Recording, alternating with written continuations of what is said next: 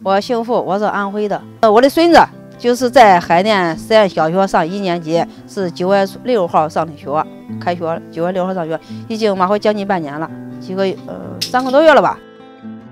我们是在这个做生意做买卖的，是因为呢，我们在这个地方是多年的。我的大儿子有房子，二孩子没有房子，就是说就是有。我们就是把这这是北京，现在我们在海淀区，就是说要那个要是要五证，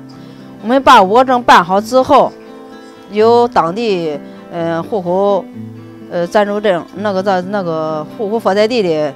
呃那个证，还有户口本一切等等，还有什么事，把这这些证带好办好之后，嗯，有房产本，什么都有，把这这些证带办好之后，和北京人的。待遇是享受是一样的，我们和北京的孩子，是上给孩子给北京人上学是一样的待遇，给北京人小孩也是上实验小学，把这个证办齐办好，什么事都没有了。也是说的是好办，也是挺难的。我们总共办了二十二个证，